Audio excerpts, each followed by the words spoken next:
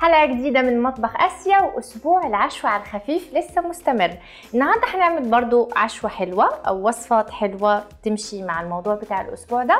هنعمل حواوشي بس مش أي حواوشي هنعمل حواوشي بالتونة. حاجة سريعة وخفيفة ولذيذة جدا. وهنعمل فتة بس فتة فول فتة الفول المدمس مش حتى فتة الفول الأخضر. فأول حاجة خلونا نشتغل في الحواوشي. عندي هنا طاسة على النار.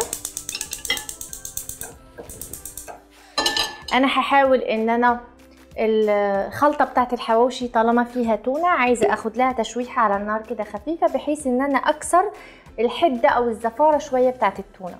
فعندي هنا شوية زيت زيتون. أنا من الناس اللي بتحب الحواوشي جدا جدا. الحواوشي العرايس اللبناني كلها شبه بعض. فدي من الحاجات المميزة في المطبخ العربي. عندي هنا شوية بصل. لما بنتكلم على الحواوشي طبعا الخلطة كل ما كان فيها حاجات أو كل ما كانت كتيرة وغنية كل ما كانوا الرغيفة بتاعت العيش حلوين قوي. هاخد بقى شوية بصل كده أشوحه. وطبعا لما بنتكلم على حواوشي تونة يبقى فيه شوية زفارة. يعني لازم نحط شوية توم ونحط شوية حاجات بتعمل يعني كأننا بن بنكبس التونة ونتخلص من الزفارة بتاعتها أو الريحة بتاعتها اللي بتبقى شوية قوية خصوصا لو دخلت على النار. فعندي توم طبعا.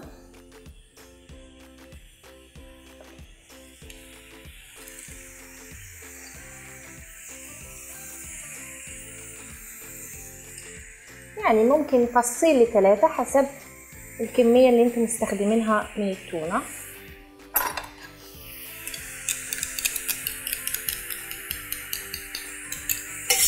والحواوشي لما بنتكلم عنه بنتكلم عن عيش بلدي. كل ما كان العيش البلدي أو حتى العربي كل ما كان أحسن. ممكن نسويه على البوتاجاز على الصاج أو ممكن نسويه في الفرن.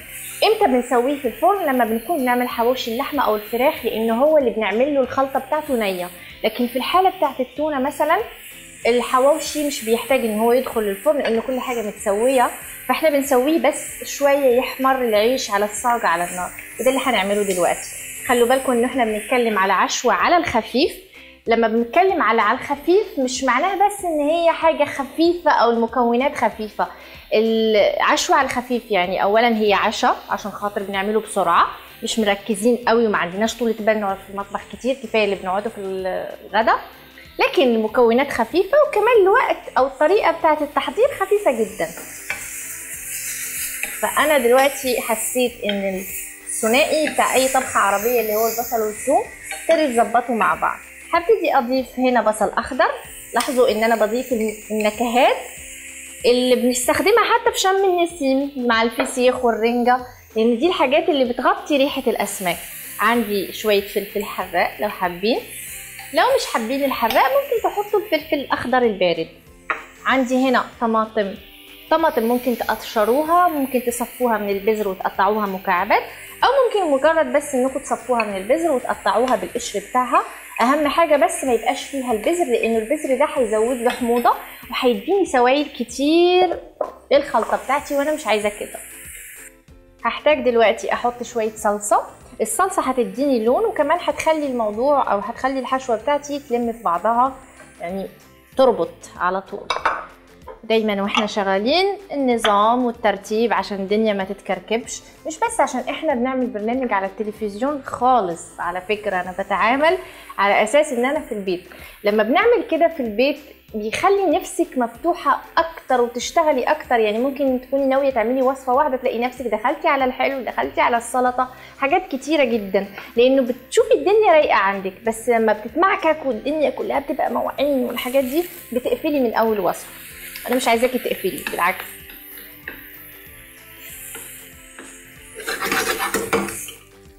هقلب المكونات دي مع بعض وهبتدي أزود البهارات.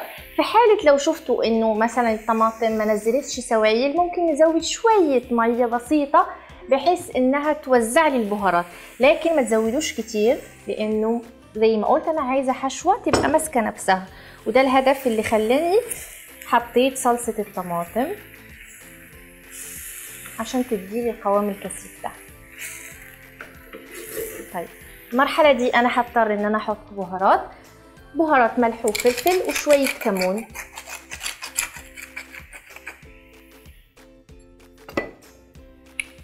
فلفل أسود.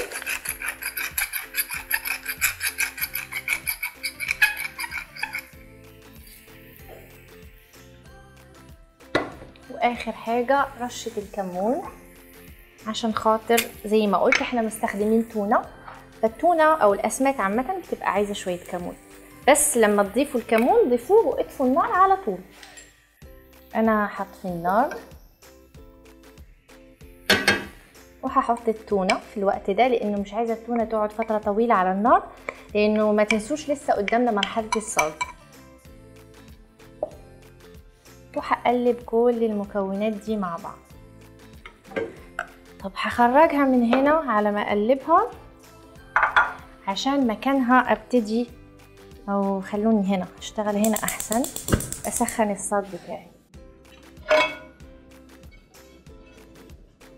صاج طاسة أي حاجة عندكم الاتنين ما بيفرقوش يعني. وهقلب هنا المكونات مع بعض.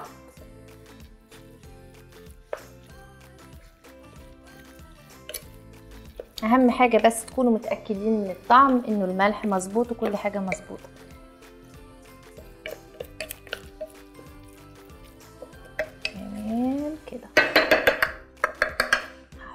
هنا وابتدي أحضر بقى ال foil. هحتاج ال foil ورق الالومنيوم هبتدي أقصه على شكل مربعات أو مستطيلات بالشكل ده. وهجيب العيش البلدي أو العربي الشامي زي ما أنتوا تحبوا. حاولوا بس يكونوا طازة عشان نقدر نفصله كويس.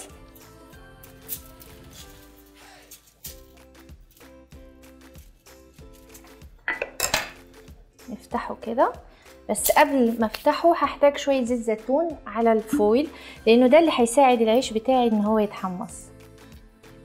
أو ياخد اللون الحلو في السوا بتاعه. هحتاج فرشة.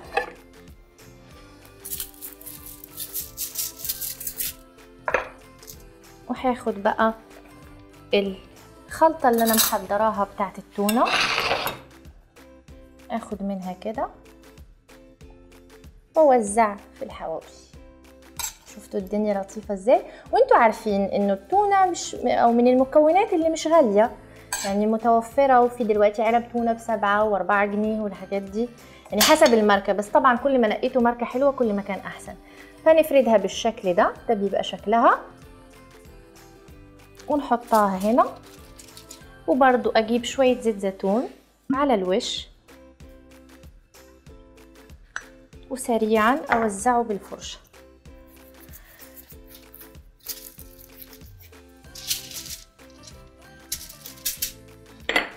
وأجيب الفويل. المفروض كنت اكبر شوية الورقة بس هتصرف ما تقلقوش.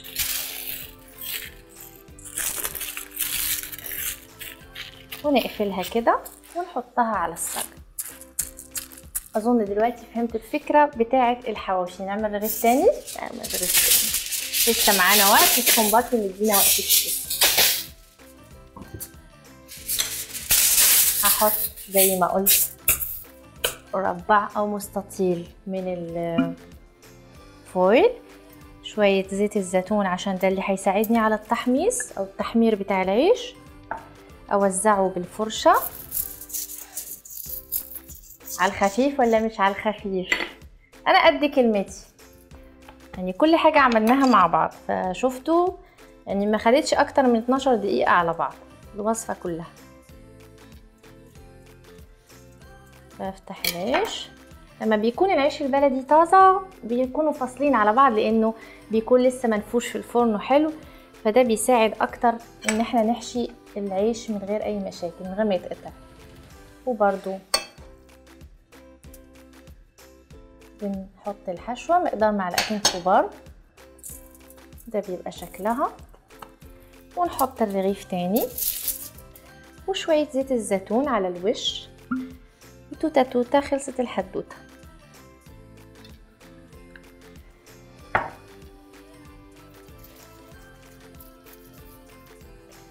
تمام.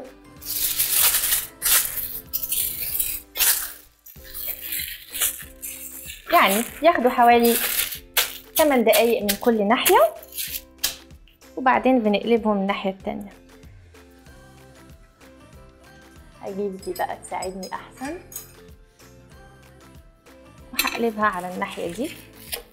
وهطلع فاصل وارجع لكم بعد الفاصل نكمل مع بعض باقي وصفات النهارده. اشوفكم بعد الفاصل.